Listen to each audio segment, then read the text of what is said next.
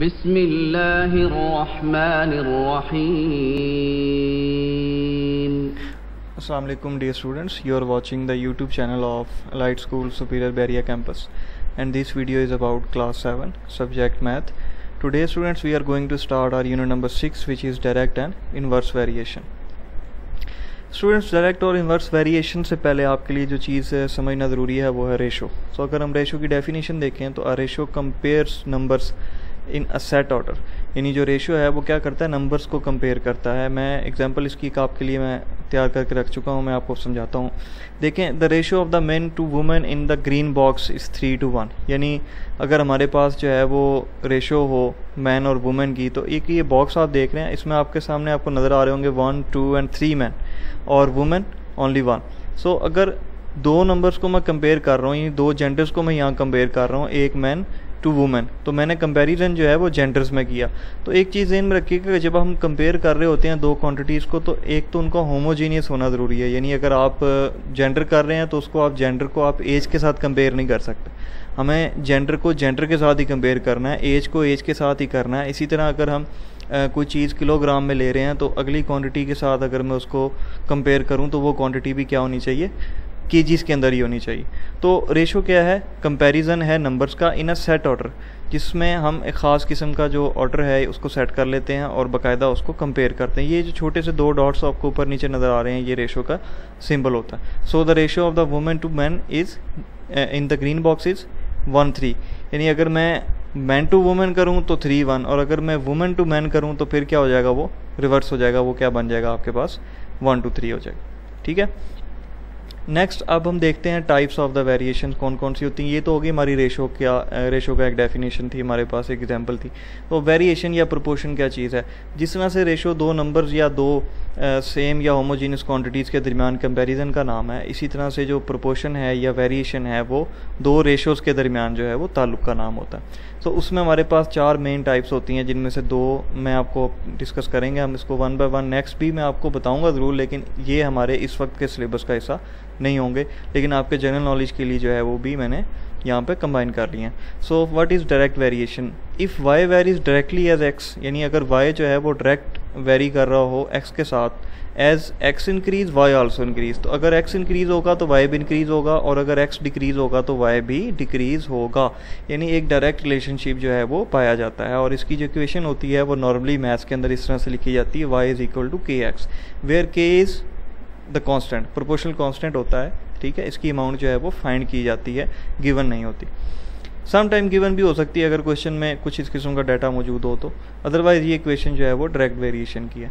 अब बढ़ते हैं इन्वर्स वेरिएशन की जानेब या इन्वर्स प्रपोर्शन की जानेब। What is inverse proportion y varies inversely as x अगर वाई जो है इन्वर्स रिलेशनशिप रखता है एक्स के साथ तो जैसे ही एक्स इंक्रीज होगा वाई डिक्रीज हो जाएगा। और जैसे ही एक्स डिक्रीज होगा अल्टीमेटली वाई ने इंक्रीज हो जाना। यानी एक इन्वर्स या रिवर्स रिलेशनशिप जो है वो दोनों के दरमियान मौजूद होता है। यानी एक क्वांटिटी इंक्रीज होती है, दूसरी डिक्रीज होती है। एक डिक्रीज होती है तो दूसरी इंक्रीज होती है। इस मेन कॉन्सेप्ट को समझना स्टूडेंट्स आपके लिए ज़रूरी है क्योंकि ये जो अब हम एक्सरसाइज की तरफ़ जब हम बढ़ेंगे तो उसमें मोस्टली ये वाले क्वेश्चन हमें नज़र आते हैं। इसकी जो इक्वेशन है वो होती है x y is equal to k या हम इस तरह से भी इसको लिख सकते हैं y is equal to k by x यानी ये इन्वर्स में चला जाता है रिवर्स हो जाता है। क्लियर है?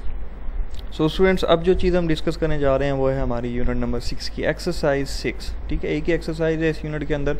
डेफिनेशन के बाद आपने जो काम स्टार्ट करना वो होगा आपकी एक्सरसाइज का। सो so, एक्सरसाइज में question number one is fill in the blanks time and distance have direct variation ठीक है? ये सोल्यूशन है इसका। देखें कि क्यों है। टाइम और डिस्टेंस जो है उसका रिलेशनशिप डायरेक्ट ही होगा। जैसे भी आप डिस्टेंस को बढ़ाते जाएँगे आपका अल्टीमेटली टाइम भी ज़्यादा ही लगेगा अपनी डेस्टिनेशन पे पहुँचने के लिए। If 8 bags cost rupees 400 16 bags will cost rupees 800 इसी तरह से फिल इन दी ब्लैंक्स जो हैं, वो आपने मुकम्मल कर लेनी है। मैंने आपके जो आंसर्स हैं, वो यहाँ आपके लिए आप तैयार करके रखे हैं। आपने यहाँ से अपनी स्लाइड उठानी है। इस वीडियो को रिवाइंड करके देख लेना है और इसको मुकम्मल करना है। ये कुछ चीज़ें इसमें ऐसी हैं, जो हमें सॉल्व करने, करनी पड़ेंगी। तो वो सोल्यूशन जो हैं, वो जब तक आप एक्सरसाइज को मुकम्मल और डीपली हम लोग इसको अंडरस्टैंड नहीं करते, सीखते नहीं हैं, तब तक तक आप जो हैं वो इसको सॉल्व नहीं कर पाएँगे। सो इस वजह से मैंने फ़िलहाल इस पहली स्लाइड में आपके लिए सिर्फ़ जो है वो आंसर्स रखे हैं। आपने एक दफ़ा इसको नोट डाउन कर लेना है। इन जैसे ही हम अपने क्वेश्चन की तरफ़ मूव करते हैं तो हम इनको डिटेल सीखने की कोशिश करेंगे। Next question will be true false as usual so इसके आंसर्स भी जो हैं वो ट्रू फॉल्स के मैंने आपके लिए यहाँ पर प्रिपेयर करके रखे हैं। सो so, स्टूडेंट्स हमारा जो क्वेश्चन है जहाँ से हमने अपनी प्रैक्टिकल वर्किंग स्टार्ट करनी न्यूमेरिकल्स की वो है question number three write direct और inverse variation against the following statements यहाँ से हमने देखना है कि कौन से वेरिएशन जो हैं स्टेटमेंट पे सूटेबल सूटेबल जो है वो बैठते हैं।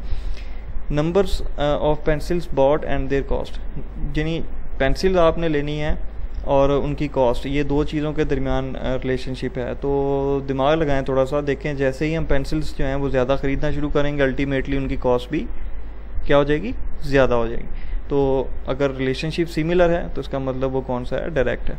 The number of man at a work and the days required to complete it जितने आदमी आपके पास मौजूद हों किसी काम को पूरा करने के लिए और दिन आपके पास कितने हैं, इन दोनों के दरमियान आपने ताल्लुक को देखना है। अच्छा आप ज़रा गौर करें जैसे जैसे हम मज़दूरों की तादाद बढ़ाते जाएँगे तो हमारा काम जल्दी ख़त्म होना शुरू हो जाएगा या कम या ज़्यादा दिन लेगा?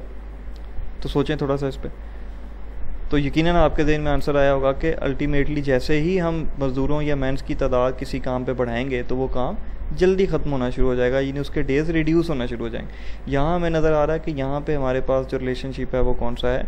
इन्वर्स है क्योंकि एक क्वांटिटी जो है हमने बढ़ाई तो अल्टीमेटली दूसरी ने डिक्रीज होना शुरू कर दिया। सो so, इसी तरह से आपके पास जो है स्टेटमेंट सी और डी भी मौजूद होगी। इसको भी आपने गौर से पढ़ना है और उसके बाद अपने ब्रेन को यूज़ करते हुए आपने यहाँ पे एक पजल टाइप ये क्वेश्चन है जिसको आपने मुकम्मल करना है। नेक्स्ट हमारे पास क्वेश्चन है जी the total cost of the ten lottery tickets is rupees two hundred find the cost of the twenty five such tickets यानी अगर हमारे पास दस लॉटरी के टिकट हैं, और उनकी कॉस्ट जो पड़ रही है वो हमें टू हंड्रेड रुपीज़ है टोटल टेन की, किसी एक की नहीं, दस की. तो find the cost of the twenty five such tickets तो पच्चीस टिकट्स अगर हमने ख़रीदने हों तो हमें कितने के पड़ेंगे? यानी दस की वैल्यू है टू हंड्रेड ट्वेंटी फाइव की कितनी होगी? तो हम सबसे पहले तो ये देखना होता है हमें कि कौन कौन सी चीज़ों के दरमियान वेरिएशन है। तो यहाँ पे वेरिएशन है टिकट्स और कॉस्ट के दरमियान। टेन टिकट्स हैं, उनकी कॉस्ट है कितनी? Two hundred twenty five tickets होंगे तो वी डोंट नो कि उनकी कॉस्ट कितनी होगी। सो दैट इज़ वाई हमने यहाँ पे एक वेरिएबल ले लिया x as the proportion is direct कैसे जी डायरेक्ट देखें, आपके पास टेन टिकट्स हैं तो टू हंड्रेड है। आपने टिकट ज़्यादा लेनी है तो पैसे भी अल्टीमेटली आपको ज़्यादा लगाने पड़ेंगे।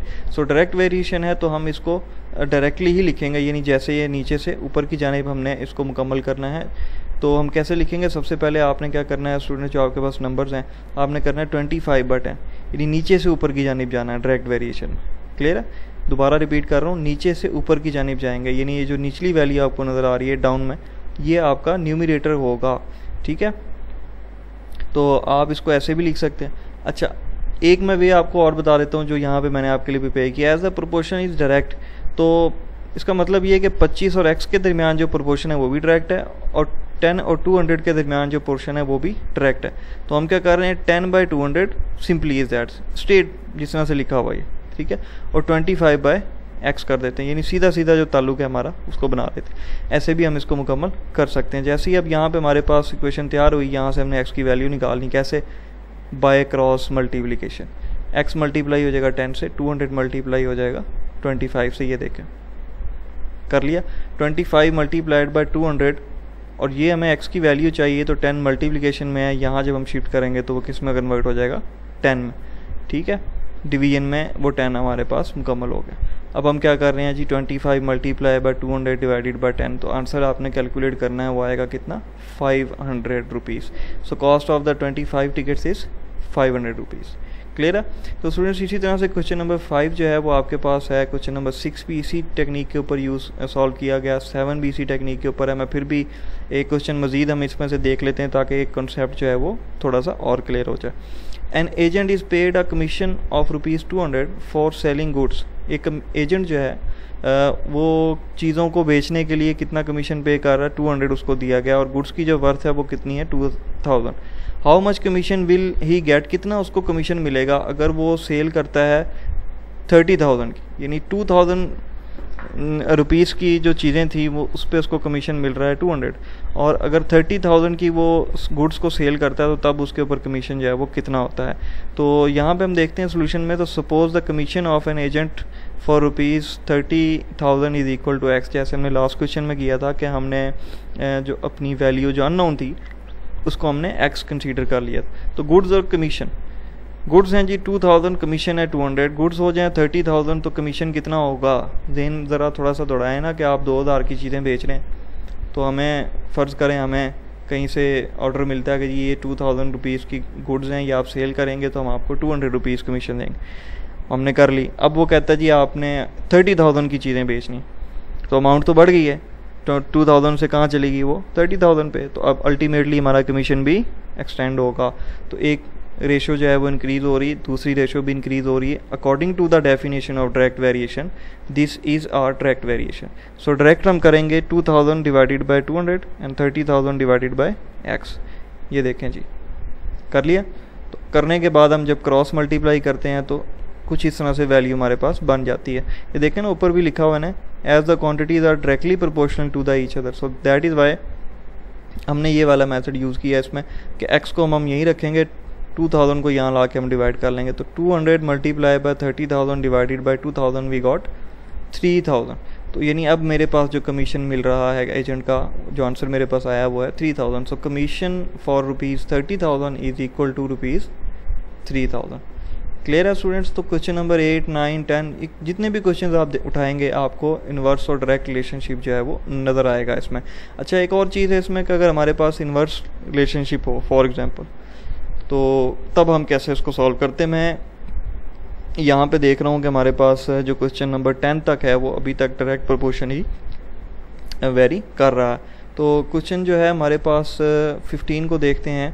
तो 15 क्वेश्चन ये थोड़ा सा डिफरेंट है सो हम वापस चलते हैं अपनी बैक स्लाइड के ऊपर। यहाँ देखते हैं man walks three kilometre in one और find the distance he can travel in 18 seconds तो एक आदमी है जी, वो तीन किलोमीटर वॉक करता है और वो मुकम्मल होती है एक घंटे में। तो अगर उसका डिस्टेंस जो है वो फाइंड आउट करें वो 18 सेकंड्स तक जो है वो उसने कितना डिस्टेंस कवर किया। तो distance covered by man in one hour is three kilometre speed of the man speed हुई कितनी? तीन किलोमीटर एक घंटा। तो अगर हमने डिस्टेंस निकालना है एटीन सेकेंड्स में तो हमें सबसे पहले तो क्या करना पड़ेगा? इसको सेकंड्स में कन्वर्ट करना पड़ेगा। तो हम क्या कर रहे हैं? आवर्स को सेकंड्स में कन्वर्ट करते हैं। Eighteen by thirty six hundred seconds एक घंटे में कितने सेकंड होते हैं स्टूडेंट्स ये ध्यान में रखिएगा थर्टी सिक्स हंड्रेड सेकेंड्स तो मेरे पास है थ्री किलोमीटर और एटीन सेकेंड्स तो इसका मतलब मेरे पास जो किलोमीटर बन रहे हैं, वो कितने हैं? थ्री बाय टू हंड्रेड यहाँ से अगर मैं सोल्यूशन निकालूँ तो वो कितना आ रहा है? थ्री सिंपल इज़ दैट तो आसान से क्वेश्चन हैं, ये आप सॉल्व आसानी से कर सकते हैं. हमें यहाँ पे जो है वो डायरेक्ट रिलेशन के क्वेश्चन ही नज़र आ रहे हैं मोस्टली ठीक है? सो so, आपने जो है वो क्वेश्चन नंबर इलेवन तक तो सेम सिमिलर मेथड के ऊपर आना है। क्वेश्चन नंबर फिफ्टीन थोड़ा सा डिफरेंट है स्टूडेंट्स ये जो है वो आप उसको ऐसे कह सकते हैं कि रेशोज़ के क्वेश्चन हैं और इसको हमने कंप्लीट करना है। किस तरह से जी mister Latif left a property worth rupees seven lakh fifty thousand और उसकी फैमिली जो है had to pay off a debt of rupees fifty thousand और उसका जो कर्ज़ा है वो कितना था? फिफ्टी थाउज़ेंड का और उसकी फैमिली ने वो देना rest of the money was distributed to his two sons and a daughter how much did each child receive तो एक जेन में बात रखिएगा कि जो सन है, उसके होते हैं portions two as compare to the daughter ठीक है? इस्लामिक शरिया का जो कानून है, उसमें यह है कि बेटे के जो हिस्से हैं, वो दो होते हैं और बेटी का जो हिस्सा है, या पोर्शन है, या शेयर है, वो कितना होगा? एक. तो यहाँ पे हम देख रहे हैं जी सेवन लैख फिफ्टी थाउज़ेंड की प्रॉपर्टी है डेट हमने पे करना है पचास हज़ार तो वो तो हम पहले देंगे. अमाउंट रहेगी कितनी? Seven lakh number of sons हैं टू और नंबर ऑफ़ डॉटर्स हैं कितनी? वन तो रेशियोज़ कैसे बनेंगी? देखें ये पहले सन का टू दूसरे सन का भी टू और थर्ड वन पे एक डॉटर है, उसका कितना रेशियो है? वन ये मैंने अभी आपको एक्सप्लेन किया। तो हम सबसे पहले क्या करेंगे? सम ऑफ़ रेशियो निकालेंगे। Two plus two plus one we got five each son share is two by five multiplied by seven lakhs तो हम हर एक का अगर मैं हिस्सा निकालूँ तो ये देखें टू है। तो मैंने क्या करना है? इसका रेशियो लेने के लिए मैं क्या करूँगा? Two divided by total multiplied by the amount ठीक है ये वाली जो अमाउंट थी मेरे पास। तो मेरे पास जो आंसर आ रहा है वो है टू एटी थाउज़ेंड सेकेंड को करेंगे तो वो भी टू है। Two by five multiply seven lakh वो भी इतना ही आएगा। सो so, लिहाजा हम एक का ही निकाल लेते हैं तो हम लिख सकते हैं यहाँ ईच सन शेयर लास्ट पे हमारे पास डॉटर का शेयर तो डॉटर की जो अमाउंट है शेयर की वो है वन sum of ratio है 5 multiplied by the rest of the amount is 7 lakh one got 1 lakh 40,000 so 2 lakh 80,000 आप देख सकते हैं। डबल है। As compare to one lakh forty thousand के। तो ये बात क्लियर होगी कि जो सन है, वो गेट करेगा double as compare to his sister जो नहीं कि, जो डॉटर है हमारे पास उसकी। ठीक है जी? So divide sixty thousand seven hundred and twenty profit amount three partners of a firm in the ratio of two three seven what is the share of each तो टोटल प्रॉफिट है this one ratio हमारे पास given है। Sum of the ratio find out करें two three seven we got twelve one by one हम निकाल सकते हैं। फ़र्स्ट पार्टनर है टू रेशियो के ऊपर खड़ा है। Divided by twelve multiplied by the amount इसी तरह से सेकंड इसी तरह से थर्ड जो है वो हम मुकम्मल कर लेंगे। ठीक है स्टूडेंट्स तो नेक्स्ट सेवनटीन और एटीन क्वेश्चन जो है वो भी इसी मेथडोलॉजी के ऊपर किया गया है। आपने अगर इस क्वेश्चन नंबर फिफ्टीन को अच्छे से देखा और सिक्सटीन को देखा तो आप सेवनटीन और एटीन भी आसानी से समझ लेंगे। मज़ीद अगर इसकी समझ ना आ रही हो तो आप कमेंट्स में बता सकते हैं और साथ ही साथ आप अपनी इस वीडियो को दोबारा चला के देखेंगे तो इनशाला ये होप के आसानी से आपको समझ में आ जाएगी। तो आपने स्टूडेंट्स करना ये है कि अब बाकी जो काम है, जो रेस्ट ऑफ़ द क्वेश्चन आपके लिए जो है पेंडिंग छोड़े गए, वो आपने मुकम्मल करने हैं। किसी भी किस्म का अगर कोई प्रॉब्लम आपको आता है तो आपने वीडियो के कमेंट सेक्शन के ऊपर काइंडली ज़रूर बताना है कि आपके कौन कौन से क्वेश्चन ऐसे हैं जो आपके क्लियर नहीं हो सके। तो इन मैं कोशिश करूँगा कि मैं दोबारा उन क्वेश्चन को जो है वो किसी नई वीडियो के अंदर क्लियर कर सकूँ। शुक्रिया।